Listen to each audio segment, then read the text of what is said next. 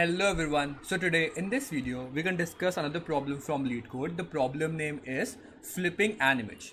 The problem is telling you that you are given an n cross n binary image like binary matrix image. Binary means that it only consists of zeros and ones.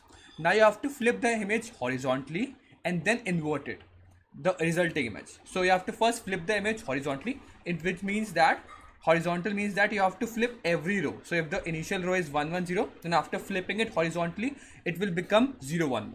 And then you have to invert it. By inversion, it means that if the ith number or the uh, like ij number is 0, then you have to convert it to 1 and vice versa.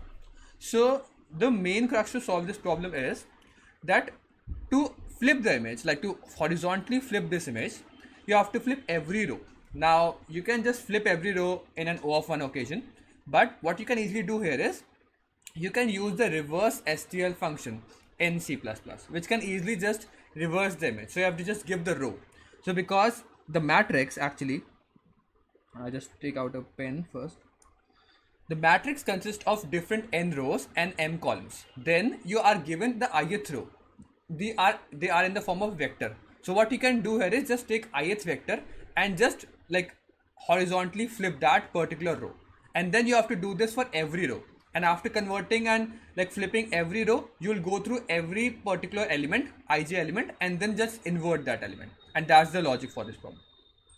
So what you can see here is I just uh, just uh, just give you a small demonstration. If this is the matrix, the matrix consists of different rows which are actually also vectors. So if you talk about the ith row, just take the ith row and reverse it using the reverse function. Just reverse that and then what you have is actually the reversed vector.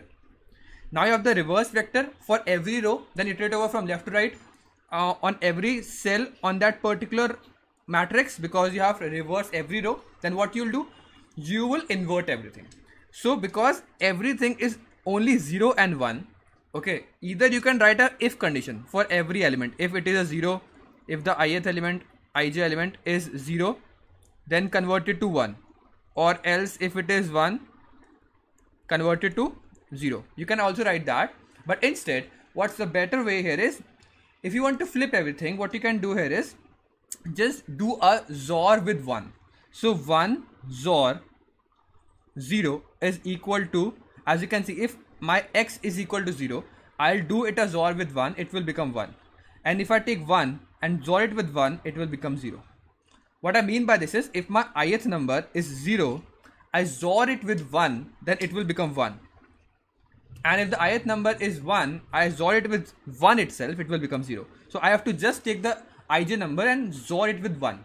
And it will actually flip its side. So for flipping any bit, try to use XOR uh, in bit manipulation. It's very simple. So that's what we're gonna do here is, uh, we'll first iterate over every row. So there are n rows, so we'll iterate, iterate over every row. And what we'll do, we'll reverse it. So because every row is a vector, what we'll do for the ith row, from the begin to the end, reverse it.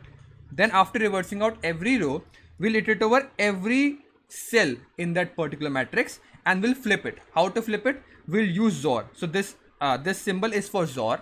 So we'll take the ij element and XOR it with 1. So in the end, that's the answer. I hope you understand the logic and the code part for this problem. If you still have any doubts, you can mention down. I will see you next one. Till then, keep coding and bye.